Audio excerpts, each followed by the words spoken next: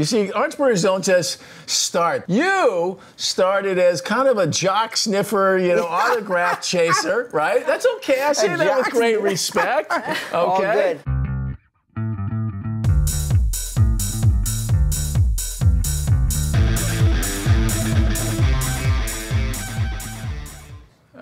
Right, welcome to RenManMusicAndBusiness.com. My name's Steve Rennie. My friends call me Renman, and this little program is called Renman Live. For the last two years, folks, we've been getting together with some of the smartest, most talented people in the music business to talk about today's music business. And you, all you folks watching, are invited to be part of the conversation.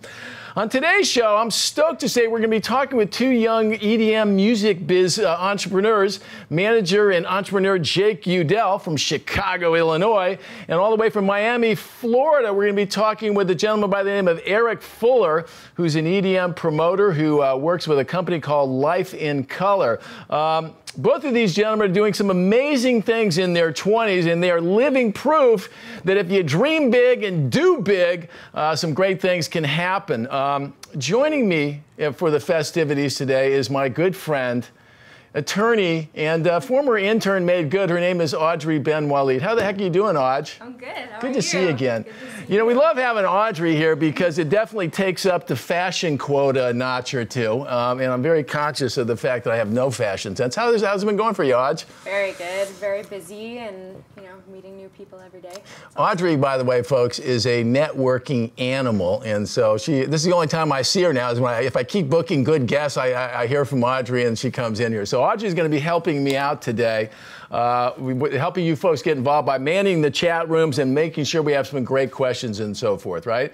Um, we got a saying around here at the uh, World Headquarters. What is it, Audrey? You don't ask, you don't get. You don't ask, you don't get, okay? And you don't learn anything, folks. So if you're looking to learn something about the music business, I'll tell you how it happens. You ask questions, you hang out with smart people, and that should help you learn something. So if you can't get that right, I'm not sure about your prospects in the music business. Odge, tell the folks how they can uh, handle those questions. Sure thing. For you early birds or you early planners, you go to renmanmb.com and you can post your questions directly on the event site. You can still do that now because I'm going to be looking at the questions And refreshing frequently. and refreshing frequently. You can also be on the YouTube live stream in the chat room, and I will be looking at those questions as well. And if you're really brave, you can call in. What's that number? 310 469 9067. And if you call in, what do you get, Rennie? Hey, you see this fine T-shirt here, folks? Hey, There, look, Look at that. Oh, oh, oh, let me move over here. t-shirt. Fuck the gatekeepers. That's right. Some old 70s porn star on there, I guess. Aaron, who made that shirt? Who made that shirt? Whose idea was that? That was Cody Romness's idea. Yeah, baby, that's what I'm talking about. You can win this shirt or a mug. Uh, we also have uh, mouse pads. We get, like I said, it's a virtual gift shop here. It's like going to freaking the Disneyland of rock. Um, all right, that's good stuff. Okay, let's dive right into it because we got a good one. Um, first, I want to tell a little story. Um, we talk about this idea how you learn the music business. And the way you learn the music business is by hanging out with smart people. So we provide you a great way to do that here at Renman Live, where we're talking with some of the smartest folks around. We're going to talk to two more here today. Um, but today's show is actually a great example of networking and what it takes to go make friends in this business. Um, identifying who you're going to need in this business to help you because if you're going to do something big you're going to need some help identifying those folks and connecting with them is crucial so i say it all the time if you want to get ahead you need to be out there shaking hands and meeting people um, i met our first guest here today uh, from a friend of mine, a guy by the name of Neil Jacobson. For you folks that don't know, is one of the top A&R guys in the business. Do we have a picture of Jake here? We got him here somewhere. He's a handsome guy. I like to show him here. Uh, he, he, he likes it to be shown as well. Anyway, Neil Jacobson, a big top A&R guy at Universal Music, uh, called me up one day and said, hey, Bren, there's this young guy who's doing some promoter like you were in the early days that's doing some great stuff. He's got this company called Life in Color. I want you to meet him, and his name was Eric Fuller. Um, so today we're going to have be get, getting Eric into the program here with us. So let me give you a little intro on him. Um, Eric, it turns out, got his start back in college uh, putting on parties. And uh, the parties have just gotten bigger. The parties moved from college around the world. He's doing some amazing things. Today, he's a top exec with EDM promoter Life in Color, who are now part of the SFX organization. Uh, do we have him on Skype there, Cud? We do. Ladies and gentlemen, would you please welcome my good friend, Mr. Eric Fuller? Whoa, how the heck are you, my friend? Hey, Steve, how's it going? Good. How's the weather down there in Miami? Uh, partly cloudy today, but it's hot and humid like always. Perfect. Hey, Coach, show me that uh, real quick, that picture we had, the bio shot. There he is, Eric Fuller. Now, that's a great looking shot. I know his mom's very proud of that. But when I see that picture, I'm not thinking EDM promoter. Eric, first off, let me say thanks for joining us on the show here today. Um, Absolutely. Uh, I want to add, there you are, you're back again, you handsome. Much better outfit today, Mr. Fuller. Yeah, I, le- I, left the collar at home for you this time, Steve. And you guys are really taking that Life in Color thing to a new level with the office uh, paint job. I love that. Yeah, we, we, we keep it real over here. We got orange walls and and paint everywhere. All right, good. Hey, Eric, I want to ask you the same question that I ask everybody. One of the toughest things to do in the music business is to get started. Lots of people dream and not as many people doing. You didn't seem to have a lot of trouble getting started in the business. Give us a brief, you know, overview of how you got started in the business when, from when you moved from dreaming about doing something in the music business to actually doing it. Well, yeah, it's um, it's actually a, a really cool story. Um, started doing parties in college, and they just kind of grew and grew and got bigger. Um, I was doing a paint party uh, at my alma mater at UNF, um, which is how I met Sebastian Solano and later on down the road Patrick, Lucas, and Paul. Um, so I started doing my own paint party, and it kept getting bigger and bigger. And um, you know, simultaneously, these guys were doing their event Dayglow, and you know, I had met them in college, and we just kind of all intersected at some point, and eventually I, I joined up with those guys. Uh, took a position. We started a, a, couple other companies as well, and um, just kind of all happened, you know, and it happened really fast. Okay, I got a question for you. I have to ask this. Now, I started as a concert promoter like yourself. Um, the, the closest thing we ever got to anybody spraying paint on somebody, I recall we were doing a Billy Idol show at the Hollywood Palladium where somebody thought it'd be a fun idea to take a fire extinguisher off a wall and spray the crowd. Um, I'm not sure they'd enjoyed it as much as some of the folks that are going to your show. Who came up with this idea of, hey, let's throw a concert and we'll spray paint on everybody? Well, it actually started uh, at, with a fraternity in Tallahassee at Florida State.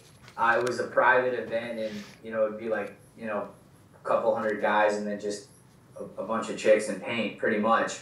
Um, so it, it, it started that way, and then the concept just you know grew outside of that, and it uh, like I said, it just got got bigger and bigger. But you know it's crazy, and it's funny you say that. Um, uh, the the paint concept is is something that is just like when you go to our event, it, everyone's expecting it and they're gonna get it. I mean, we have hundreds and gallons of paint that, that go out each night. So yeah, the, the crowd often within ten minutes they're gonna be chanting, you know, we want paint, and it goes goes all night. All right, let me ask you another question. I got my promoter hat on. Usually, if you're a promoter, for you folks that aren't familiar, promoter will go out and rent a building, uh, typically, and and and that sometimes that's easier to do than others. When you are pitching venues on being a part of your event, and you tell them you're going to be spraying all this paint around, I'm I'm seeing in my mind's eye lots of venue managers' eyes glazing over, going, "We're going to be doing what?" Was that a tough sell to actually get facilities? to rent to you? Yeah, and it was an even tougher sell when we first started out because you got to imagine we were what 23, 24 years old, uh, just out of you know fresh out of college. Uh, so yeah, when you go in and talk to you know these million dollar nightclubs and million dollar venues, and you're like, yeah, that's exactly what they say, Steve. They, you're gonna do what? Um, but it just kind of you know it kind of like everything in life, it just one thing builds off another. Uh, so we started in clubs. Uh, then we moved to arenas, uh, concert halls, and it just kind of like grew. So our reputation um, at the previous venues really helped us uh, get our start. And obviously now we have like a full-on packet of you know what we're gonna do from the time we come into the venue, from the time we're gonna leave. Um, so that that kind of puts everyone's worries at ease. Okay, another lame question. When you have all this paint around, how do you clean that stuff up? It's one thing to clean up a few flyers in beer cups. It's another whole thing to paint a venue. Yeah, you know it's crazy. Like like I tell venues, ninety percent of that paint is, is is walking out of the door. Um, so it actually gets absorbed. I mean, you're going for the paint party, right? So it's if you think about it, it's coming from top down and it, the majority of it absorbs, you know, from the chest up, and then it just walks right out of the venue, and the rest of it we put down, you know, carpet, and carpet, uh, so that catches what's what's left over.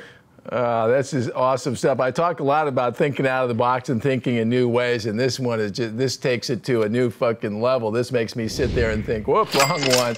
Uh, you know, we were sitting there wondering, are you freaking kidding me when I see all this stuff going on here? Um, let me ask you another more serious question. You mentioned that you had a couple partners, Sebastian and a couple others. I want you to tell me who they are. This idea of picking your partners is a huge part of doing something big in the music business. Talk about how you met your partners and, and, and how that little mix of different talents and experience comes together eh, for Life in Color. Yeah, so when I first started doing the event, um, I was introduced through to uh, actually Sebastian's brother, David Solano, who's a DJ. He signed with William Morris, and you know he was our resident for years. Uh, but I actually booked David, and I would book David on a on a frequent basis, and that's how I came to, to know Sebastian. We kind of like instantly hit it off. He was you know somebody I spoke to often, and you know we would just talk for hours about business. And I remember Sebastian saying to me, you know like I want to take Dayglow and turn it into the sensation of, of the U.S. And I kind of looked at him was like, I think you're crazy, um, you know, but but good luck with that. And um, we just stayed in touch over the years. I was, you know, continuous, you know, continuing to do my event, and um, I actually moved over to to Europe. I, I moved to Spain, and I stayed in touch with Sebastian. They continued to operate, you know, the Dayglow with the W, and uh, I I spoke to him one day and I said, look, you know, like I'm thinking about bringing this over here to Europe. And he was like, look, you know, things are really taking off back here in the U.S. Like, Questions. you know, we need to all all join up and, and come join the team. So I bought a flight home literally two weeks later. And yeah, the rest has kind of just been history. You, okay, one of the things that makes for great partnerships is when the partners add different elements into the mix. Um, you, you, and I talked a little bit earlier. You don't get as much involved in the booking, the talent at these gigs as you are in more of the execution side. Is that a fair comment? Oh, absolutely. absolutely so, yeah. is is Sebastian the guy that's involved booking the talent because that's kind of its own different headspace and requires a certain you know different kind of kooky mentality? Yeah, no, I mean, I, when we first started, uh, you know, booking talent, yeah, Sebastian would, would lead that. I mean, he was in touch with all the agents. Um, and then we, we naturally, as the company expanded um, and things became more streamlined, we brought in a talent buyer um, to assist with that. And now that we're with SFX, you know, it, actually in the room next door, Kevin Mitchell is here, who's our lead talent buyer for SFX, and we're talking about everything for 2015 and 16. So yeah, it's kind of like it, it did start at that point where we were doing it all ourselves and Sebastian would handle the bookings and then, you know, we, we, we put people in, in place to do that. Awesome. Yeah, here we got the phone ring. We got any questions over there, gentlemen? We have a couple of management questions. For okay, for Jake. Okay, we'll hold on to those one. All right, let me ask you another question here. Again, with my old kind of manager promoter hat on. In my world, it was all about the headliners, and the headliner came and did the show. They put on, the, uh, they, they were there to play the songs that you wanted to hear, that that had brought you there in the first place. They spent a lot of money on sound and lights to kind of amplify that event. Today, more so than ever, I sit here wondering if in this whole EDM world, how much of the attraction is there the headlining talent versus the actual experience you're selling? And I think it's even more highlighted in my mind when I think about about a Life in Color event. Talk about that if you would. Yeah, no, I mean it's it's definitely a hot question right now um, throughout you know the whole industry. I mean, when we started, it was it was about the experience. Like I told you earlier, you know, at some point we had even you know hip hop elements in the show. Uh, when when they started doing uh, Spades, uh, the the terrace was ha- uh, electronic music, and then the the bottom level was all house music. Um, sorry, hip hop. So it, it, it started out as more the experience and I think to, to solidify the company and keep competition out, and obviously, you know, EDM was growing, uh, we started bringing in the elements of, of, of producers and DJs. And I, I think it, if, if, if where we're at today, it, it's absolutely necessary. A fan comes to these shows, like, you know, if I'm attending Tomorrow World or, or Mysteryland or EDC, like, you're, you're you've grown to expect, you know, the top level talent. So um, I think we've in some ways contributed to that. Um, and, and yeah, it's, it's just it's, it's it's absolutely necessary today if you're gonna you know compete with the the big guys and, and, and draw the thousands out. All right, terrific. Uh, we got a question here uh, from our chat room. Audrey, you want to take that one there? Sure. This is from Panther Claw, and he asks, "How do you think live performances and EDM music will change in the future?" That's a great question there, Panther Claw. well, I, I, I couldn't speak you know, for everyone, I think there's a lot of different companies doing a lot of different things. I know I just spent a week out at Burning Man, um, you know, looking at all the different art carts and, you know, kind of getting some creative juices. I, I wasn't the only one out there. I saw a lot of different, you know, industry people. I think, so I think everyone's trying to, you know, look to evolve. Um, I would say from the production element on our side, you know, we have this, this great medium paint and we're always looking to evolve that. So from our end, you know, it's like how do we blast the pain out now? How do we make that experience more interactive? Um, and we've taken some pretty big steps here. We we started a company in 2000, I think it was 2010, uh, Advanced Concert Productions, and that was to the whole goal with with that was to actually bring the production in house. I mean, you look on the balance sheet, it's like, where's your money going? Well, it, it's going out in production, so let's bring that in house. So we hired um, some really intelligent people, put together a really great team, and and now we can control that element here in house with with R and D, with trying things out, and we have the equipment to you know kind of test the waters. Awesome. Uh, we had another question there, Audrey, for somebody talking about how to get started. Uh, or was it? No, this one was actually okay. a question from DJ Neil Mack, and he asked, as entrepreneurs who want to build the future of EDM by engaging youth like me to carry the industry through the future, isn't the EDM industry shooting itself in the foot by recent age restrictions for festivals? Ah, there's another good question. You know, with Life in Color, it, it varies market to market. Um, I, I, I think it really does depend on the market. If you go to a you know a place like Miami, I mean, you're not going to get into the club if you're not 21 or you have a really good fake ID or you know somebody and you know you're going to slip 100 bucks. Um, you go to a place like you know Columbia, Missouri, uh, or Kansas, it's probably more acceptable to be all ages. So I would redirect the question: Is well, where do you live? Um, and uh, it, it, it kind of just depends on the market. But me personally, I think that um, you know the event should be of, of a certain age limit. Um, you know, somewhere around 16 to 18 and up, just because I mean, there's a lot of legal ramifications that come with that, um, especially especially in the festival setting. But you know, going to see a, your favorite act in a live show, I, I don't see the harm in being, you know, an all ages event. Good stuff. All right, let me ask you another question. Um, we're talking about this idea uh, of partners and so forth. And uh, you guys uh, did a deal a while back um, with SFX. Anyway, SFX, for you folks, has got a gentleman by the name of Bob Sillerman who's been buying a number of companies in the EDM space here, consolidating them. I want to know, you know, to the extent that having a great partner is important, they certainly bring a lot more financing, a lot more experience to the mix. How has that SFX partnership been working for you guys?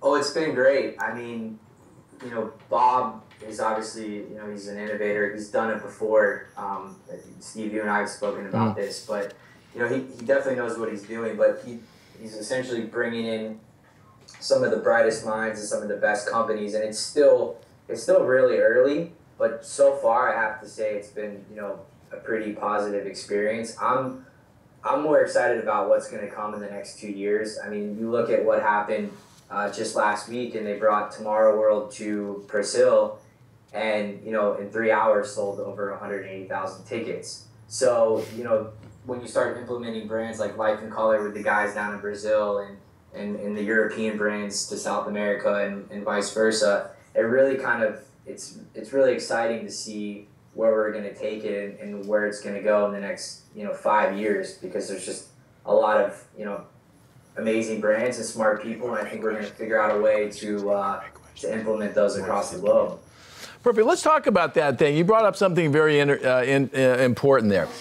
If you're an artist and you're looking to build a live business, or if you're a concert promoter looking to build a live business, too often if you live here in America, one of the big countries, you think that's the whole world. But the truth of the matter is, it's a big world outside the United States, and that international market is developing around the world at a very fast pace, and it represents a huge source of income for artists. Talk about how you've taken this thing from Central Florida doing parties, and now you're taking this thing around the world to places and doing huge, huge business.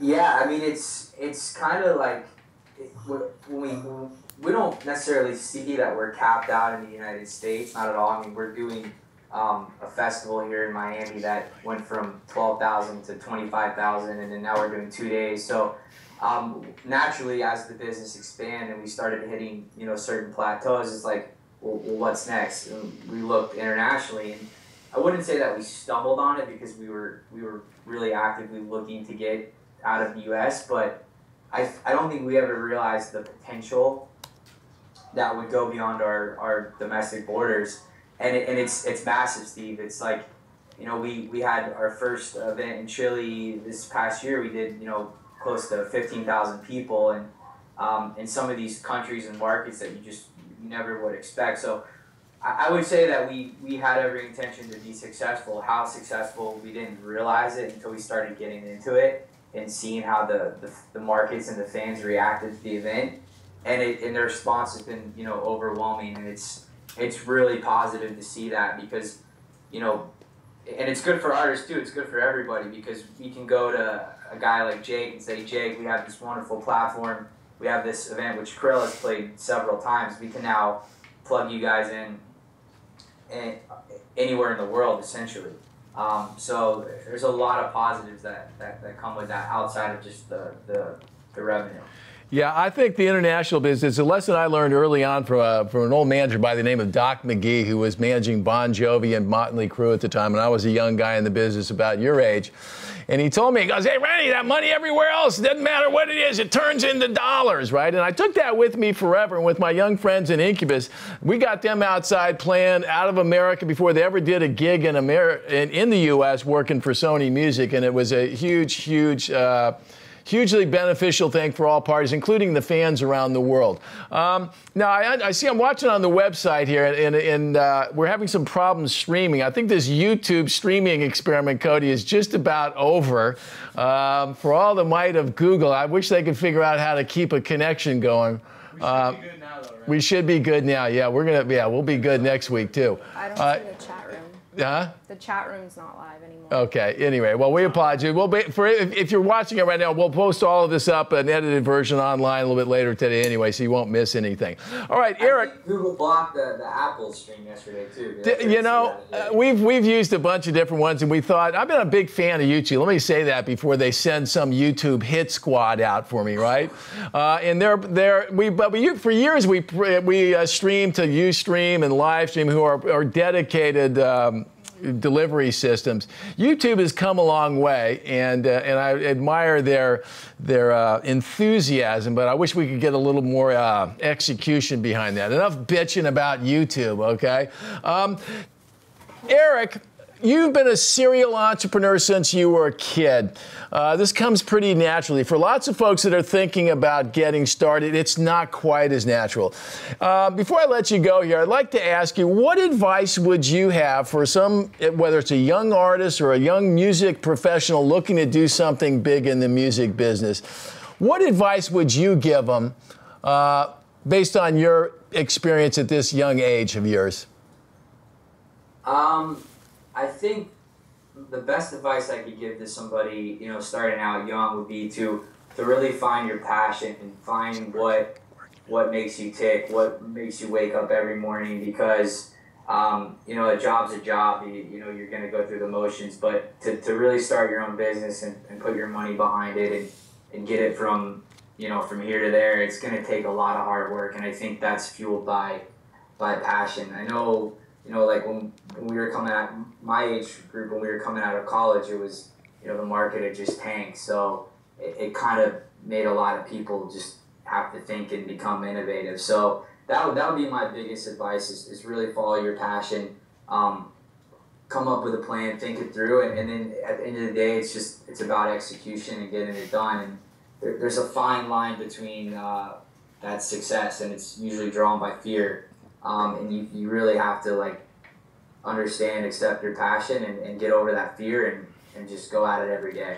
That, folks, is unbelievably great advice. We talk about a lot of these things over the course of the year, these, these kind of big picture concepts that I've learned over the years. And you hit on one right there, Eric, which is that everybody has a certain level of fear, insecurity, and paranoia built into us as human beings. We, we, we joke about it, the FIP factor here in the office. And some people is higher than others. But if you're so afraid of losing, you'll never have a chance to win. So take the advice of one of my good buddies. You got to love winning more than you love losing if you're going to do something great out there. And I would suggest you hang out with more smart people like Eric Fuller. Now, one final, I can't, I can't miss this opportunity. Um, we're supposed to play some golf one day. How's that as a networking tool, Mr. Fuller?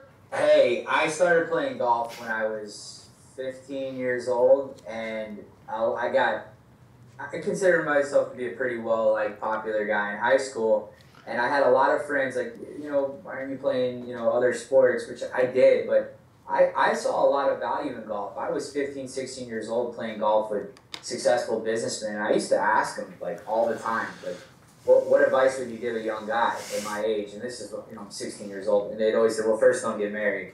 Um, so the, the, the second one they would say is, is, don't get married. And then the third one would be, um, you know, really, really follow your passion. So that was something I actually learned uh, and, and took through golf. I thought, um, so yeah, it's, it's a great sport. I've met a lot of amazing people. I'm looking forward to, to getting my ass kicked by you, Steve. I hear you're quite the golfer, so I got a lot of work to do. I'll be happy to handle it. I thought your third answer was going to be, and if your if your wife knows you play golf, convince her it takes nine hours to do it. Okay. Yeah. no, my, my, my, my, girlfriend knows it takes four and a half hours, so I've got I've got you, about. You five. fucked up there, Eric. That's all I'm gonna say. all right, Eric. I want to thank you for joining us here today. I'm serious. When you're out here, we're gonna go out and play a little golf. I hope you folks, uh, uh, if you if you if you missed it, come back and watch the replay a little bit later today. Great having you. And, and when you come to town, I want to come out to one of these Life in Color events. I want you to load me up with a hose and a paint can. All right. You got it, Steve. We'll, we'll have one with your name on it, and I'll uh, I'll, I'll show you the which girl in the crowd to pick out, and we'll we'll get dirty out there. I know I may not I may look old, but I won't think I don't think I'll have a problem spotting one. All right. Nah, there'll be funny. Enjoy the enjoy the interview with Jake. Tell him I all said right. hello, and thanks for everything. All right, you got it. Thank you very much.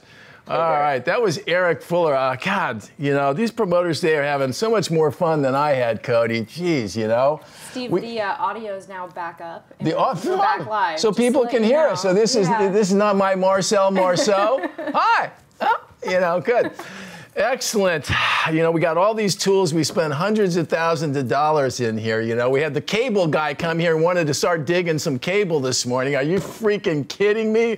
That's what I'm talking about. Ah!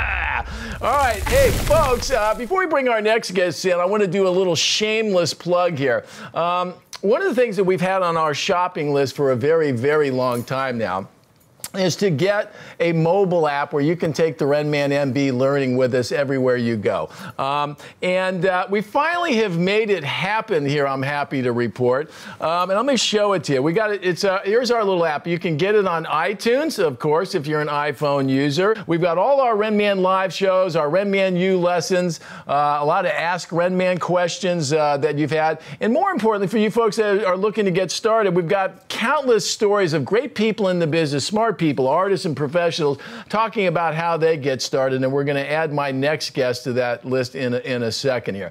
All right, enough of the shameless plugging here. Uh, my next guest is also uh, a bit of a serial entrepreneur in his own right. Uh, he's a partner in a music marketing and management firm called Third Brain. He's also the manager of two of the top EDM acts around today, uh, Krewella and ZHU. Uh, if that weren't enough, he clearly doesn't have enough to do, so he decided to start a web series for all you 20 something folks out there where he's hoping to inspire a new generation of entrepreneurs, and I think that is God's work myself. So, ladies and gentlemen, without any further ado, I want to welcome you to my new friend, Mr. Jake Udell. There Thanks you go. Thanks for having me, Rennie. Oh, there you go. You like my golf outfit? You know, I'm gonna I'm tell, ready to rock. Can I tell a funny story here? Sure, bring it. Okay, so the first time Jake and I met, I invited her out to my my favorite hang on the plan, which is Bel Air Country Club, right? And uh, it's a great club, but it's very long on tradition, right? And uh, so anyway, uh, we sent the email out as we do to everybody. Hey, make sure you wear a collared shirt, no jeans, you know, no cell phones, no laptops, none of that stuff. So apparently Jake didn't get the the, the memo. I got the memo. Oh, you got the memo. You chose to define the memo. Okay. He's a renegade. Anyway, we're sitting there having breakfast. So I'm waiting, and there's a guy named Coley. He's been working in the locker room for 20 years, and I know the look on his face when he comes out and he goes, "Hey, uh, Mr. Rennie, uh, we got one of your friends here today." I said, uh, "Okay, what's he wearing there?" Coley goes, "Well." I, I think he's the first guy that wore leather pants to Bel Air Country Club. And I said, I said, where do you have him? He said, I'm holding him in the locker room. So anyway, I set Jake up with a fine outfit, some Nike pants and a Nike shirt, which he didn't wear today. This is I thought about cooler. wearing it, but I- this I is know. Much cooler. Anyway, you. you're in your element. First of all, I want to thank you for joining us here today. Thank you for having Uh, me. It means a lot to me, you know. And there are lots of folks out there that are that are looking to connect and, and, and trying to get some inspiration. And guys like you um, are really a great example. So I appreciate you you so taking the much. time. Um, I, I ask everybody, I've done a little homework on you, as you might imagine. um, so I know a little bit of the story, but I'm going to ask you to tell it. Um, how did Jake Udell get started in the music business? Take as much time as you like, Jake. Um, I guess I really just wanted to have a voice. You know, I realized that we can spend our time, Rennie, as entrepreneurs, starting any kind of business, but um, I don't believe this world is necessarily measured by how much money you make or um, or anything except the impact that you're actually having on the world. And music was a vehicle by which I sort of realized the voice of musicians themselves, the impact it has, is well beyond what I think the average person realizes it is. Um, you know, the amount of letters that we get um, from people struggling that are inspired by the artists that we represent or have represented over the years is really remarkable, and I wanted to be a part of that. Yeah. Now, but before that, you see, see, entrepreneurs, zone entrepreneurs says don't just start. They, they show these signs early on. I had a newspaper out. I had a golf club repair business. You started as kind of a jock sniffer, you know, autograph chaser, right? That's okay. I say A that with great respect. Okay. All good. I say that with great respect. I was too. Um, talk about your early days out Sure. there hawking for signatures and the first Yeah. big score, your first triple profit. I read that story. I wanted to cry. It was so good. Well, I very early on, I wanted to, when I was a kid, um, when I was really young, 10, 11 years In old. In Chicago, right? Yeah, I didn't need anything for the holidays. So when my family would say, What do you need? What do you want for the holidays? I would actually adopt a family and go and instead of getting gifts for myself, we'd go buy clothes and, and things for the needy. And when I was 13, I had this fascination with sports. And so instead of adopting a family that year, I actually decided to go to the local hobby store and buy some sports memorabilia to put up on my walls. You know, my dad was uh, always had me reading a lot of success books early on, but he also was a big baseball guy, so he had me reading the Cooperstown book. And I remember seeing Willie Mays the catch and then going into the store and seeing that frame photo on the wall, and I said, I gotta have that. So um, my, my family bought it for me, and in January, I wanted more stuff because that's what kids do. They want, want, want, want, Sure. want. So I wanted more stuff, and my mom wouldn't take me back to the store because it wasn't the holidays anymore. So I went to the internet and I bought a few things, and I realized I could get things for about a fifth of the price, maybe, that I could at the local hobby store. But what was really um, the moment, I guess, where my entrepreneurial spirit really kicked in was when I got one of the things in the mail. I believe it was like a Randy Moss signed 8x10, 8x10 photograph. And I put it back on eBay because I didn't like it. And it actually went for three times the price. And that was the moment at which I said to myself, I wasn't even trying. Maybe there's something really here. And then I started to, of course, as you mentioned, uh, chase the athletes themselves. So we, we were able to find out what air, what you know, what flights they took and what hotels they stayed at, and there we were outside all hours, all day, all night. Um, we were crazy, but um, we made some money and we learned really the values and values and I guess hard work that it really takes Yeah. to start a business. Yeah. And it wasn't just about being outside and getting the autographs. I mean, it was the whole process from selling the merchandise to shipping the merchandise to keeping in touch with the customer really learning how to communicate. Mm. And anybody that knows me knows that I'm a huge believer in communication Mm. intelligence. And I would say that's probably where I got my start, really Yeah. meeting people on the internet and talking to strangers and just being able to communicate. And I'm sure all of those skills that you learn along the way uh, come in handy when you're in the music business. I want to talk about another great bit of a story that I saw. Um, you know, when I started this website, I wanted to inspire and, and mentor artists and young professionals to, to, to, to go and do something. So one of my mottos was this idea of dream it and do it, right? And so a lot of people will wave that flag, dream it, do it, but it's, it's actually tougher there. The dreaming mm. part's pretty easy. The doing is a little bit tougher. And sometimes the dreams that we have in mind don't always work out. I dreamed of being a golf pro. This man here dreamed of being a rapper, right? Uh, my career as a golf pro didn't work out. I moved on. Your talk about your career as a rapper and how that led to you to where you are today. You make it sound like it might have worked out, but it didn't. I- I'm not. I'm not here to judge. Only to chat. Okay. But rapper, Um, you know, I- I entrepreneur.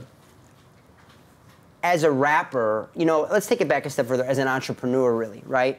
I mean, I've had probably 20 to 30 failed startups. I've had hundreds of failed ideas. Mm-hmm. And it's that process of doing that actually creates the necessary infrastructure of your brain to connect the dots in future situations and know what's going to work. I mean, I spent my 10,000 hours trying to market myself and other independent recording artists that didn't belong in the music industry as artists.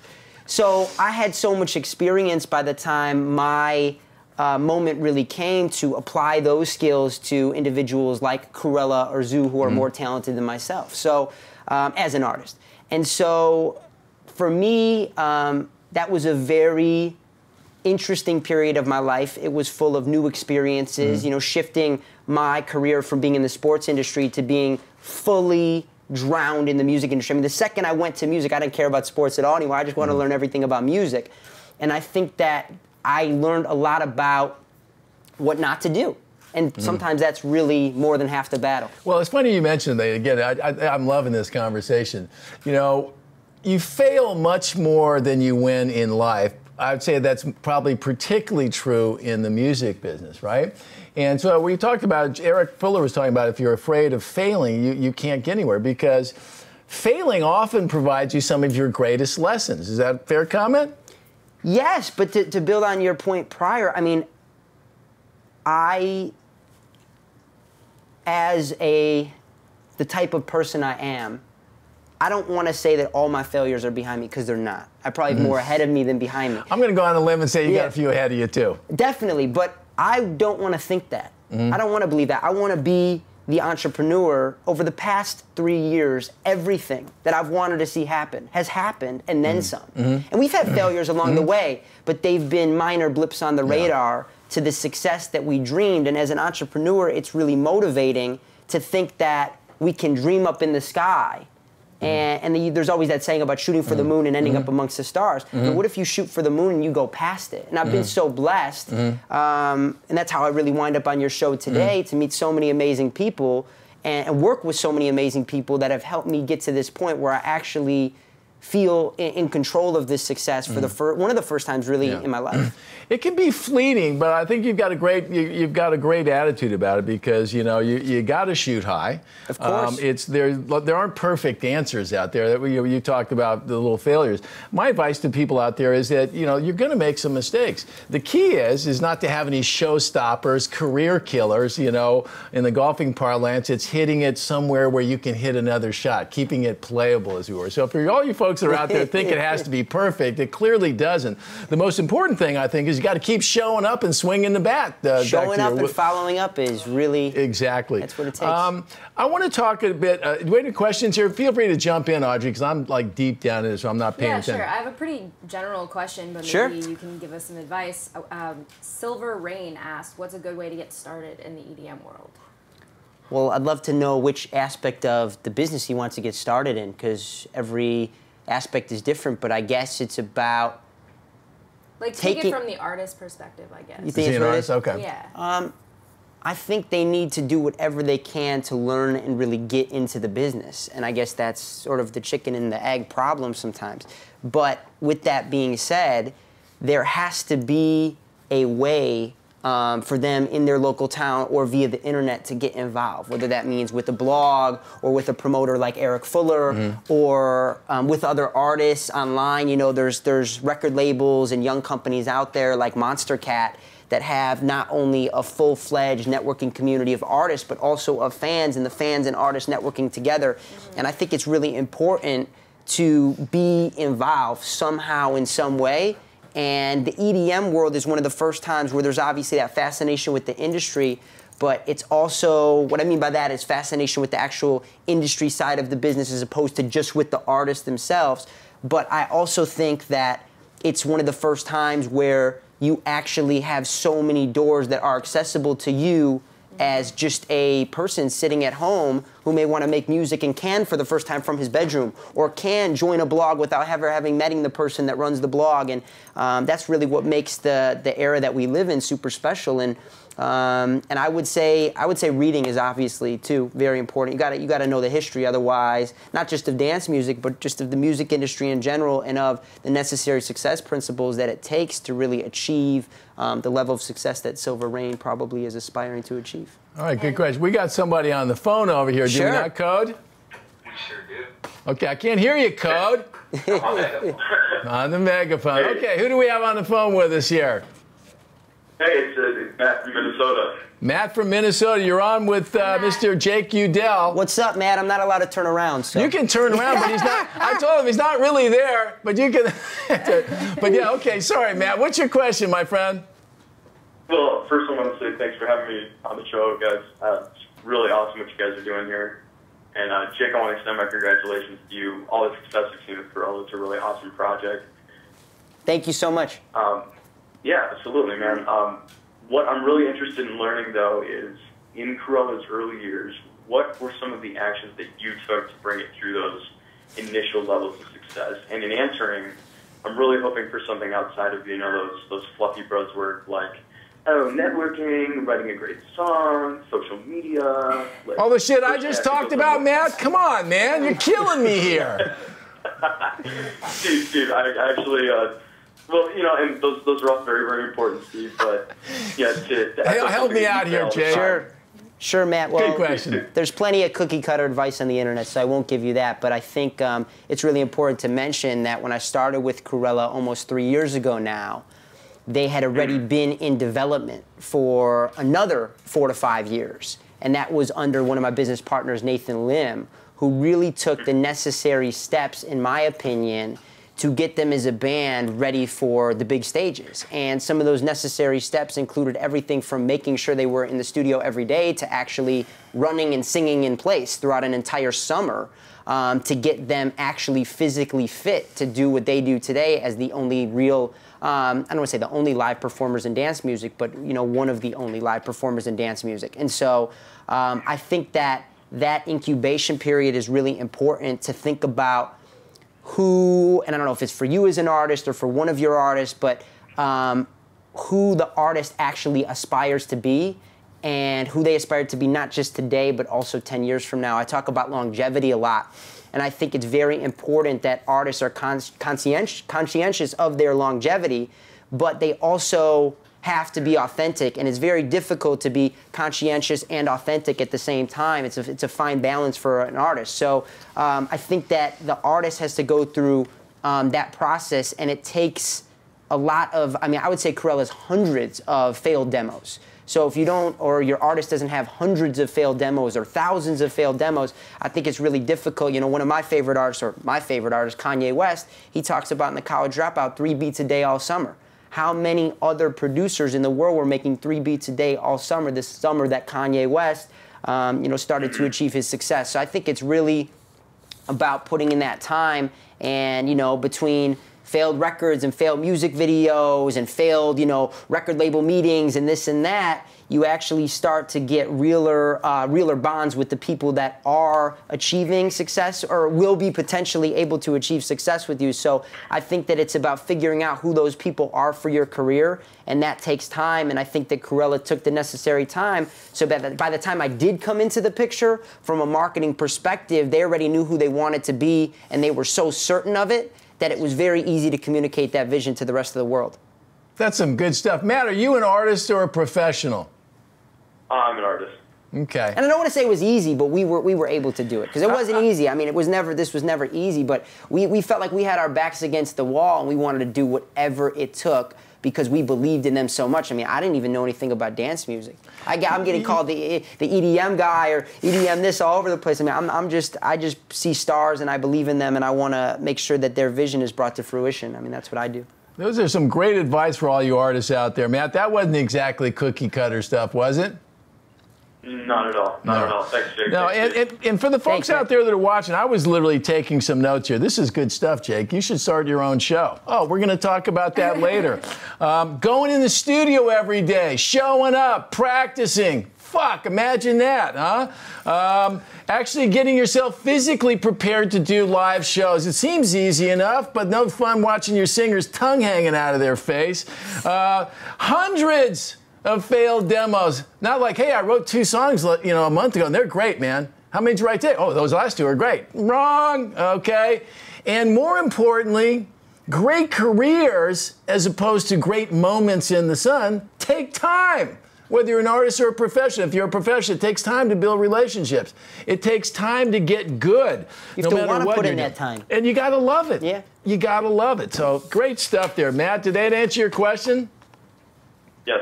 Thanks again. How's the weather in Minneapolis today? It's it's god awful. It's raining and it's windy. A hey, Midwest Code, guy. Do we know? Did we know any other Minnesota dudes in the house here? I'm a proud Minnesotan from Wayzata, Minnesota. Blyzetta. Nobody knows where Blues. Do you know where Bluezetta is? Where is that place? Wayzata, Why? Why? Wayzata for the wise guy. All right, man. Thanks a lot. Go take a trip up to Wayzata. They're pretty soon. They're going to have a sign up there. The home of Cody the Trojan man. All right, there you go. All right, okay, we're not above a shameless gag. Thanks for calling, Matt. Uh, I have a question. okay, um, actually, my friend was messaging me on Facebook the other night about ZHU and how much they loved him. This is just a nice transition into ZHU. This is just flowing so nicely. Go ahead, yeah, sorry, and, And I know that there's not too much music released, and I was just wondering, is there a strategy behind that? Because I was tempted to tell him, you know, they're just building up the buzz and, and making people want more. So just let us know a little bit more about ZHU and what you plan to do with him. Well, specifically to the release strategy, um, ZHU is the number one artist in the world when it comes to upholding a certain elegance and, and appreciation for quality. And so music doesn't get rolled out per a typical artist manager record label strategic conversation. It actually gets rolled out when it's not only ready in his opinion as an actual recording but also to be heard by the world.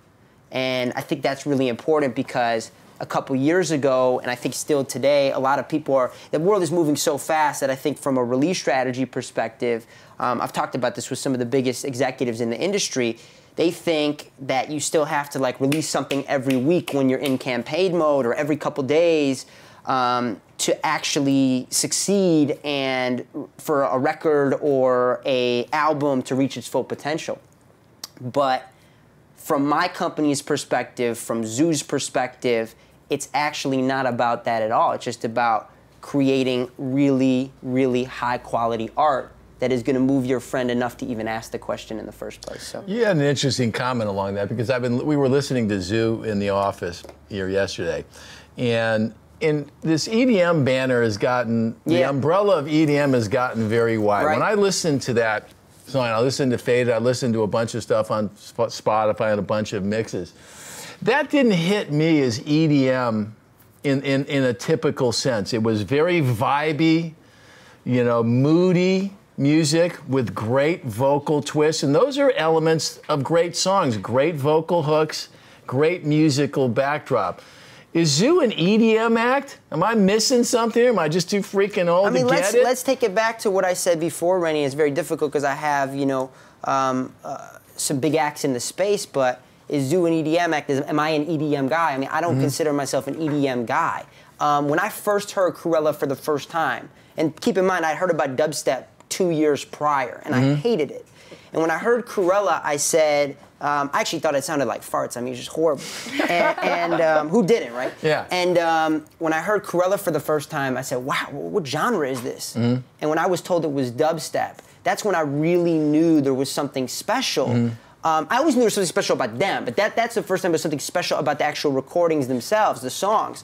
Because if I didn't like dubstep, but I liked Krewella, and Krewella was making dubstep at the time, there would be a lot of people out there, in my opinion, that may also be interested in them. And so when I heard ZHU for the first time, I actually I didn't even know what genre it was, and somebody said deep house. We've you know we've heard everything from indie dance to whatever dance, but I said, what genre is this?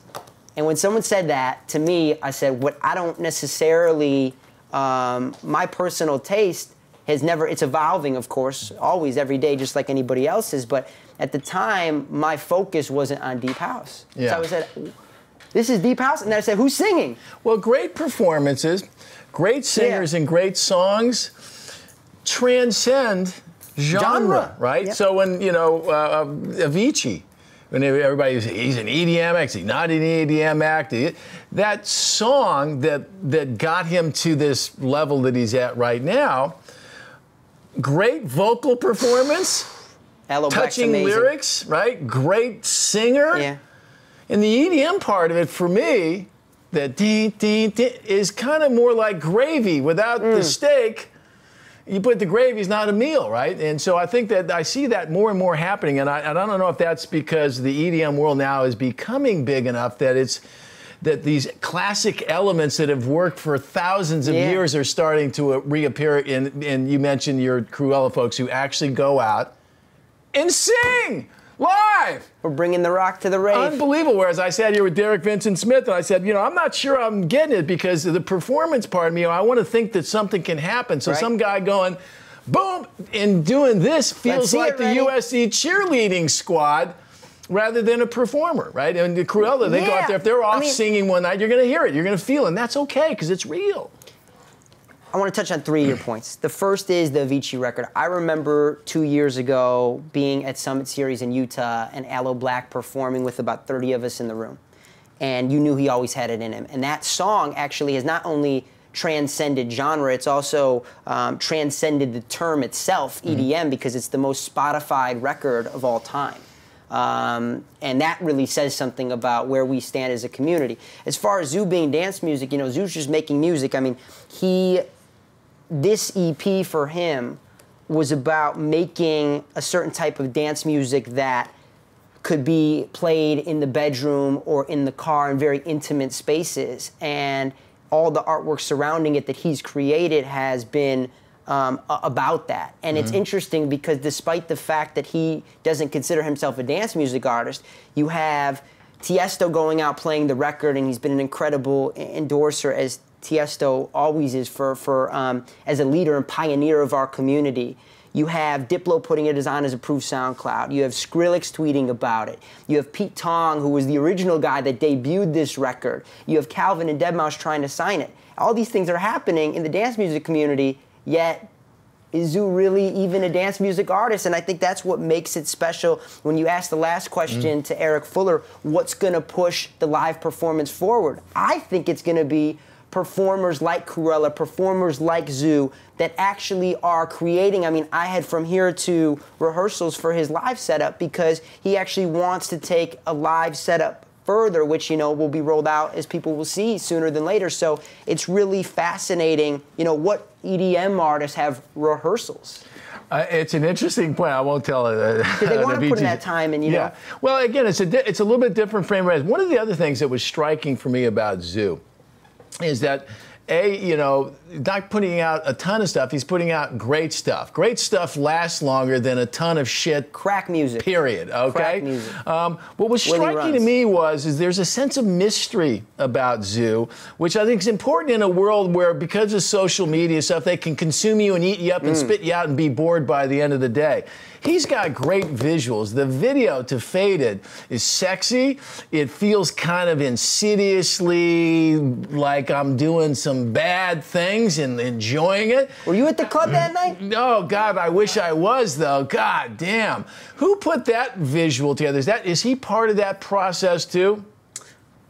he is not only a part of it, you may not have known this, he actually directed the video. I did not know that. Yeah, he actually directed and edited the video himself. Um, we were playing around with a lot of different visual aesthetics and we came across inspiration that really to us when we saw that black and white style of you know nightlife culture we didn't we couldn't find anywhere in the united states in new york or los angeles that we felt properly identified with who ZHU was because in the us it's either like you're the bottle service club or you're you know at the grungy club, and it's like uh, what Dim Tuesday was. So mm. I think that we don't have that in between. And France is an area where even their grungiest or um, or most greedy nightlife actually is still perceived with a certain sense of fashion and luxury. And so we decided to shoot it in France. And um, when we got the footage back, we really felt like we were capturing that aura and that feeling. And it was important to us to capture it because the record deserves that visual. The record is just such a yeah. such an incredible. Yeah, record. that's it. Because when you're out there as an artist and you're trying to paint a picture of who you are, yeah. part of it is the music, of course. Without that, you're nothing.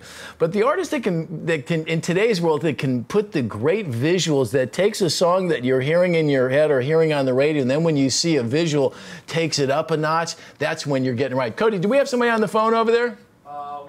We do not. Audrey, if you've got any great questions, while you're looking for some good questions, I want to ask you about one. We're going to go back into learning mode here, folks. Take your pencils out.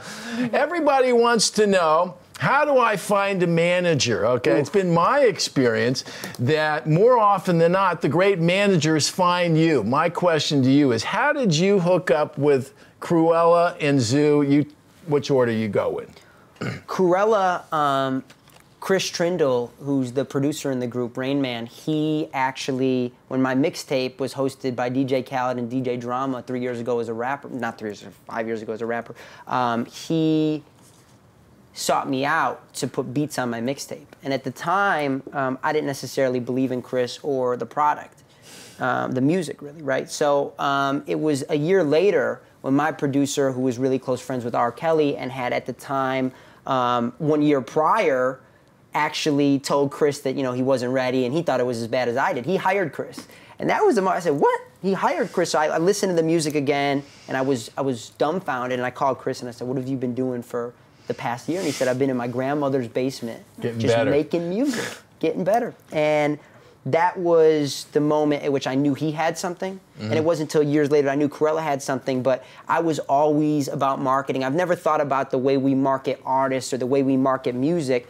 I've thought, how do we actually market this vision? How do we affect culture? And that doesn't just apply to music. And when you don't think in terms of how do you market music and you don't think about what premiere, what remix, what this, what that in a cookie cutter format, as our boy Matt talked about earlier in the question, I think that's when you actually reach some of the greatest solutions and how do we bring this music to the world in the most creative way. And so I was already doing that. So Krewella was interested in me for that. I was interested in Krewella because they could write and produce my music, which luckily is not released and is never going to be released. Um, I'm going to go find it, man. You can't. Not, you, okay. That's not out there. I stopped. I stopped releasing stuff, okay. um, you know, a few years ago. So, but um, at that at that time, we were kind of ha- building a working relationship from uh, you know, marketing and advice, and eventually that relationship evolved into a management capacity. Mm-hmm. So I think that the advice out there, though, for young aspiring artists looking to find managers, young managers looking to get the attention of other managers mm. who can make things happen for their artists, it goes back to what really the theme of today's show has become, which is release great music or have great mm. content. Mm. Because if somebody can come in here and sit right where Audrey's sitting and pitch you and I, and despite our generation gap, mm. we both get it, which mm. we both get mm. ZHU. So that's mm. kind of evidence that it's possible. Mm-hmm that's when I think you know you really have something, and that's mm. how to attract the great managers. Yeah. It's interesting the comment there because you know, looking at both of us, you you would clearly fit more of the culture than me, and, and perhaps that's why you were a little out of my culture over at the club here, right? But it's music.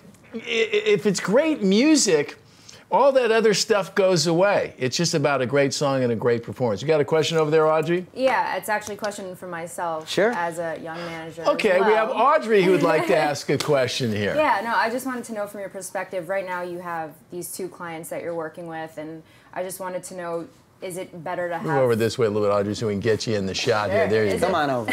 is it better to have fewer clients and really put in all of your energy into those, or do you think there's like a magic number of clients to have? Just wondering. I mean, Steve has had one client his entire career. I had a bunch at one time in a previous incarnation. That might have informed my my second career as a manager. Right, but just from your perspective, what do you what do you think is well, the right way to go? Um, I think times are changing. Um, Steve, you said to me at one point hmm. that management is, you know, a really almost thankless job. It's it's very difficult. It can be very. Yeah, thankless. a lot of, a lot of music industry positions can be very thankless.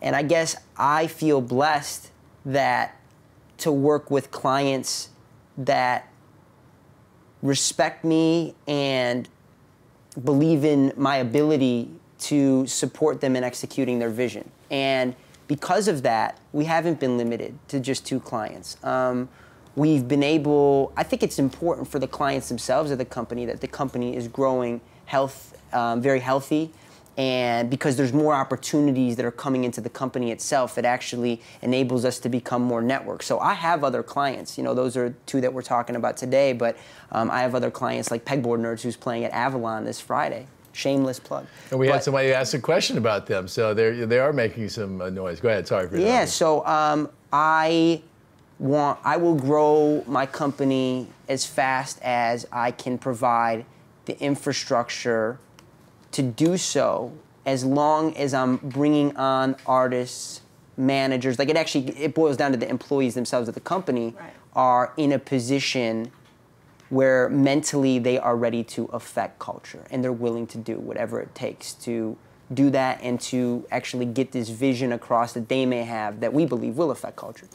I keep going back to that affecting because so it's that's that's what we do it for. Well, that's right? why it's funny because we you, know, you were a lot younger than me, but but you hit so many of the, the, the things that make it gratifying and not thankless. Those notes from people where they heard a song or saw a performance and it was so much more than that for them, right? Where it had an impact on their life. I've told the story a million times of being a 16 year old sitting with seven buddies of mine at the Forum here in LA in 1972 for a matinee show of the Rolling Stones. And it literally changed my freaking life. It was just like, holy shit.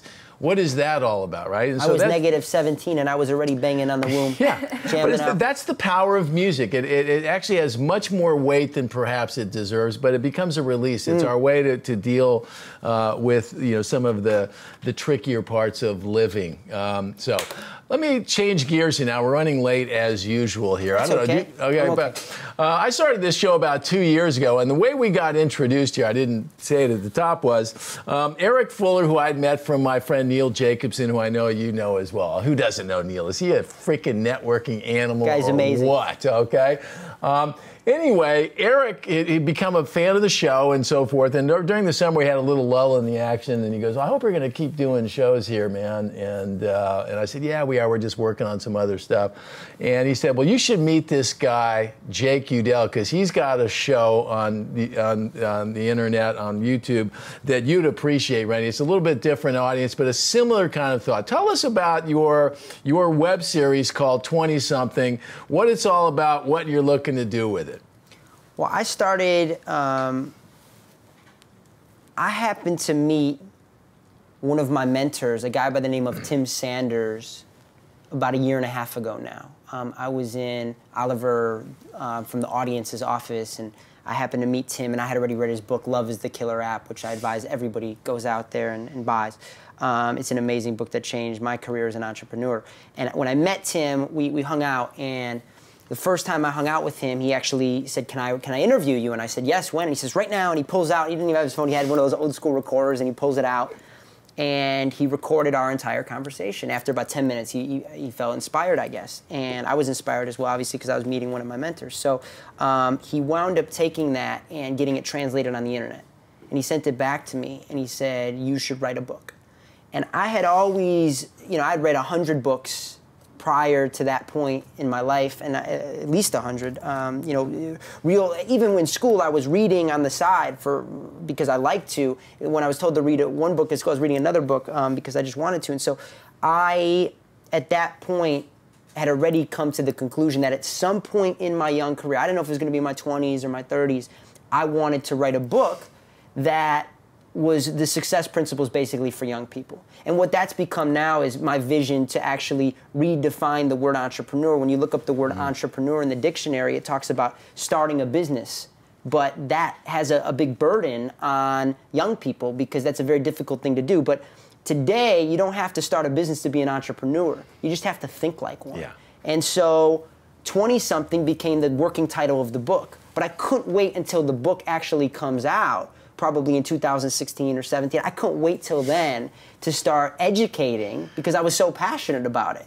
And it wasn't just my passion, other people, you know, like yourself are mm. passionate about it as well. So we created the web series 20 something to bring other like-minded people on the show. They didn't have to be in their 20s. Most of them are.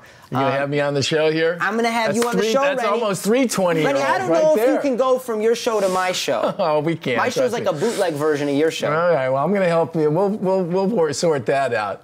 Yeah. So we just have young people on the show that talk to us about what they're doing in all different fields of the industry. Well, what's fun about it is, is that you know, a couple things. The notion of writing a book. That's how this show of mine started. You know, Brandon Boyd once goes, "Hey, you know, you should start. You should write a book. You got so many great stories." And for years, I've been like the rabbi of rock. People go, "Hey, Rennie, can I can, I pick your brain on something?" Right? But the truth of the matter is, I have a tough time writing the show script here, much less a book. But the learning part of it um, is important. So that's how our show started. Same thing. It was just it was just an easier way to get the the word out there. And then, of course, the manager and showbiz guy and me started, you know, up in the ante and putting in my own kind of heavy metal stuff. Uh, you know, you got a phone call there, Code? Oh, that's our regular phone line. Um, it's good stuff here, I man. I think it's really important to be out there inspiring people to do something because for most folks, I don't think it comes as naturally as for you. And I totally agree with your comment that it's not so much about starting a business. There are people that have an entrepreneurial spirit that are willing to look at things in a new way, that are willing with some respect to, to take a look at the things that have worked in the past, but skeptical and, and suspicious about whether they work today. And so, so many of the things that you guys are doing and Eric are pieces of it are things that work for me, but very clearly you guys have a different attitude on some of those fundamentals. And I think that's the great takeaway for all you people out there that are looking to do something great. There's a lot to be learned from people that have been doing it for a long time. And I'm here to tell you that one of the greatest benefits of doing this web show is for me to sit with people like yourself and Eric Fuller and be able to pick your brains because the truth of the matter is, doesn't matter whether you're 25 or 59. Um, the day you stop learning is your first step into that freaking box. And I'm going to try to hold off on that one as long as possible. Uh, we have any questions or phone calls, Code? Audrey, any final questions before we let Jake go back to making some money here instead of yapping with me all morning? Yeah, just to touch back to the book comment. I just finished reading The Operator about David Amazing. Geffen. Amazing book. So um, I'm going to read Love is the Killer app, but can you give us a few other suggestions for people looking to learn? Because I think yeah, reading books are, is like one of the most important things. Um, there's a few that are absolute. I mean, there's, there's hundreds that are must reads, but um, ones that have been really important to me, uh, my Bible is The Essence of Success by Earl Nightingale. Okay. It's probably the best book ever written that is not currently still in print. Um, it's, it's an amazing story. There's a book called Triggers by one of my mentors, Joe Sugarman, who started BluBlockers. That is an incredible book to get you thinking outside the box about, about marketing and, and marketing concepts. Um, if you like the David Geffen book, there's a book called When I Stop Talking, You'll Know I'm Dead. I which is the one. Jerry Weintraub Jerry story. Weintraub. I used right. to caddy for Jerry at Hillcrest Country Club. No way. Not a very, not a good golfer at all. You know, He's not call like him you, choppers. Oh no, he was looked like he was chopping wood. He looked like he didn't. yeah, it was, it was horrible. You know. Jer- yeah. Jerry's story is incredible and, and beyond um, inspiring, and I think that for people that want to be in the music business, obviously the classic "All You All You Need to Know About right. the Music Business" by yeah. Donald Passman is, is a must. This is going to be the new classic, folks, right here, Renman MB. I'll throw one uh, piece of reading on that one for you, and I'm not kidding, folks. There's a book by the guy by the name of Dr. Bob Rotella. He's a sports psychologist. Wrote a book called "Golf Is Not a Game of Perfect," and I've actually sent this book around to a mm. number of people. The most recently, I gave it to uh, Nate Ruess. said, Nate, I want you to read this book here, but everywhere you see golf, I want you to put in music business or life. Life's not a game of perfect. Music business isn't game of perfect, and it's all about trying to figure out where you want to go and trying to avoid those showstoppers and those career killers. Uh, it's been great having you on here. Before I go, I want to talk of a couple things before we get out of here. Have you ever heard of a, a website called Songs from a Room? I haven't. Uh, there's a great little place. It's called Songs from a Room. It was a website that was started over in England, right? And they do these little bedroom concerts, very intimate concerts in real mm-hmm. people's house, and they go and send, you know, send a note out to the, the members. And so 60, 70, 80 people will turn up at an undisclosed location to see three or four acts that they don't even know who are playing until you actually get there. A great little thing that I was put onto. I'm going to get a chance to go to my second one this weekend, and I'm looking forward to it in a big way. Uh, hopefully, we'll get a chance to talk to some of the songs from a room people, and, and they can tell their own story, but something that's really terrific. Um, today, Jake is 25 years old, just starting off on what I reckon will be a great career in the music business. Next week, we're going to be talking. Oop, wrong hat, Rocky. Uh, give me Richard. Uh, Richard there. You got him there? Richard Gottehrer? Uh, there he is, right there. Richard Gottehrer. If I said you folks out there, how about could you? How would you feel about having a 50-year career in the music business that included writing number one singles, that included being partners in one of the story labels, Sire Record, that included producing records for the likes of the Go Go number one albums, and then topping it all off by starting a very digital or very you know 2014 version of a digital distribution house called Orchard. Well, that's my my guest, Richard Gottehrer. Uh, back to I keep pulling that one out. Get Richard back on there. Anyway, he's going to be joining us next face. week, and it's what we were talking about. There's great lessons to be learned from people that are around, sitting around, that have been doing this for a very long time. They've dealt with the whole evolution of the business, uh, and Richard is is one of these great forward thinkers who could have laid it all down, phoned it in, and said I'm mm. done, but he's not. He still thinks about what works today, and should be a great one for all you folks um, to to be a part of, and it will demonstrate once again this whole kind of cross generational exchange of information and ideas and inspiration about how to do something great in your life. So, anyway, I want to thank you for joining us today here, Jake. Audrey, I want to thank you for showing thank up you. again. I want to thank our crew back here. I want to thank our friends at YouTube. you need a little work on the platform, okay? Uh, my name is Steve Rennie. I am the Ren Man. We'll see you on September 24th. I am out of here. See ya.